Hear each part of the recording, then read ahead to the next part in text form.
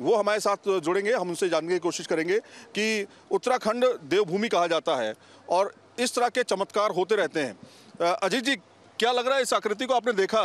क्या लग रहा है इसको देख देखिए, प्रकृति की हर आकृति में भगवान का वास होता है और प्रकृति का कोई भी रूप आप देखेंगे, पेड़, पौधे, पहाड़, झील, झरने, नदियाँ, आप गौर से देखेंगे तो उनमें भगवान का वास आपको नज़र आएगा।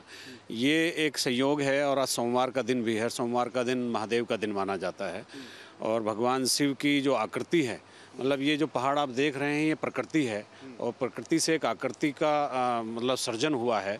और उस सृजनात्मक जो एक जो एक घटनाक्रम हुआ है, उसमें महादेव की आकृति बनी है। और चूँकि हिंदुस्तान आस्था का देश है, धर्म का देश है, और लोगों का आस्था में ज़्यादा भरोसा है तो ये आकृति बिल्कुल महादेव जैसी लग रही है, जैसे महादेव कहीं आगे की तरफ़ चल रहे हों, चढ़ रहे हों, उस तरह की एक आकृति बन गई है। तो प्रकृति भी भगवान होती है और प्रकृति की कोई भी आकृति होती है, उसमें भगवान होता है और ये वही आकृति है जिसका आप ज़िक्र कर रहे हैं, अपने दर्शकों को दिखा रहे हैं हम लोग।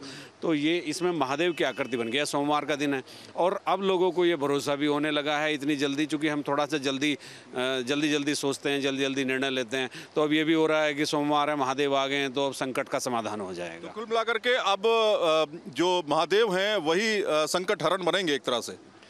हाँ अब ज़्यादातर लोग यही मान रहे हैं, बाकी तो यहाँ इंजीनियर से लेकर के और मशीनें और भगवान, इंसान, ये मंदिर जो बोखनाक देवता का मंदिर है, इसीलिए स्थापित किया गया।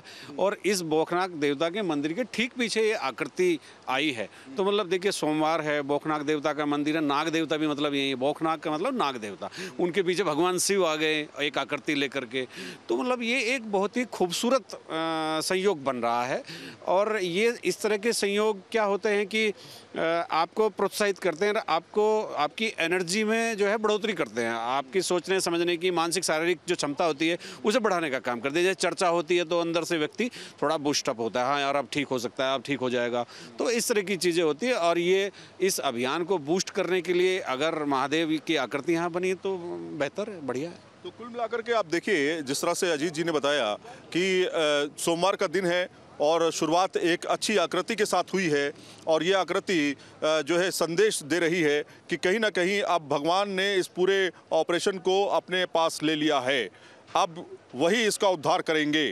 तो कुल मिलाकर के आप तस्वीर देखिए। एक बार फिर से आपको तस्वीर दिखाता हूँ और ये भी बताता हूँ कि, कि आज सोमवार है और सोमवार को ऐसी आकृति बन जाना एक संयोग नहीं हो सकता।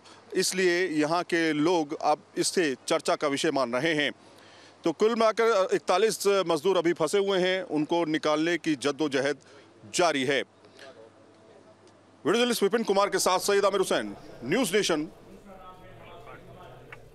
तो ये तस्वीरें आपको लगातार दिखा रहे हैं, जहाँ सलकियारा टनल के मुख्य द्वार की ये तस्वीरें हैं जहाँ पर ये आकृति बनी हुई नज़र आई है।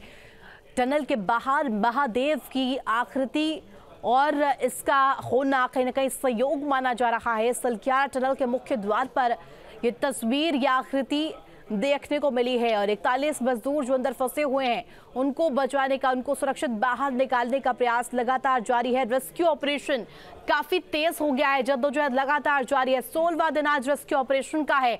टनल के बाहर महादेव की आकृति होना कहीं ना कहीं सहयोग और संदेश के तौर पर लोग इसको देख रहे हैं और साथ ही साथ इसकी तरफ़ आकर्षित भी होते हुए नज़र आ रहे एक्सक्लूसिव तस्वीरें इस वक्त आप न्यूज़ स्टेट पर देख पा रहे हैं। टनल के बाहर की तस्वीरें हैं, जहाँ महादेव की आकृति की तस्वीर कहीं ना कहीं लोगों के बीच चर्चा का विषय बनी हुई है। सलख्यारा टनल के द्वार की तस्वीर और महादेव की आकृति यहाँ पर बनना कहीं ना कहीं पॉजिटिव संदेश देती हुई नज़र आ रही है। और महादेव की आकृति आप तस्वीरों में भी देख पा रहे होंगे, जहाँ एक्सक्लूसिव तस्वीरें न्यूज़ स्टेट आपको दिखा रहा है, जहाँ पर देखिए किस तरीके से पानी के स्रोत से महादेव की आकृति बनी हुई नज़र आ रही है।